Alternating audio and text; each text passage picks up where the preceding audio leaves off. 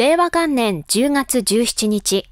今年度の阿蘇市戦没者追悼式が行われ、英霊の冥福と高級平和を誓いました。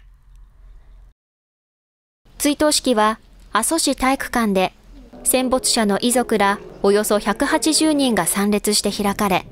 まず戦没者の御霊に対して黙祷し、冥福を祈りました。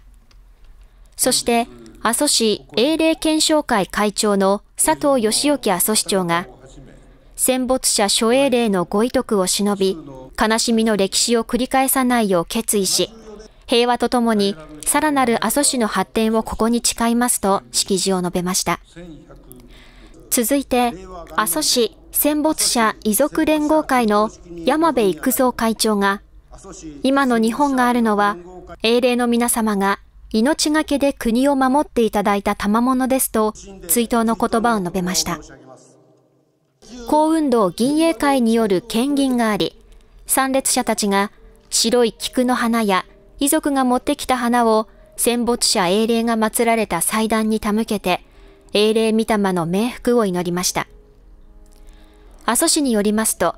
阿蘇市では先の大戦で1162人の方が戦場で亡くなっており、戦後70年以上が経過して遺族も高齢化し、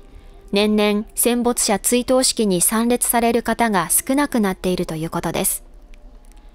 昭和20年7月、フィリピンで夫が戦死した阿蘇市一宮町宮地の山部地元さん101歳も参列して祭壇に花束を手向けていました。